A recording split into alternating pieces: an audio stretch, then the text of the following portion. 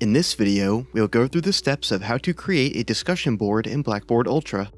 First, navigate to the content view in your Ultra course. Click the plus icon, then click Create in the drop-down menu that appears. In the Create Item menu, scroll down until you see the discussion option under Participation and Engagement. Then, click on it. Another way you can create a discussion board is by navigating to the Discussions tab at the top of the screen, then clicking on the New Discussion button. In the discussion menu that appears, you have several options available to you. You can set a name for your discussion board by clicking the title in the top left corner of the screen and typing it in. You can also fill out the topic for your discussion board by typing it into the box located at the bottom.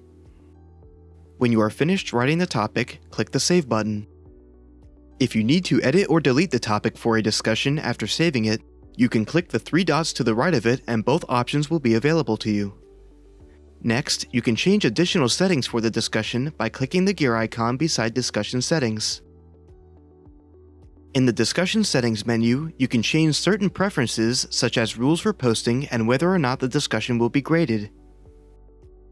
After making your selections within the discussion settings, click the Save button at the bottom right of the menu.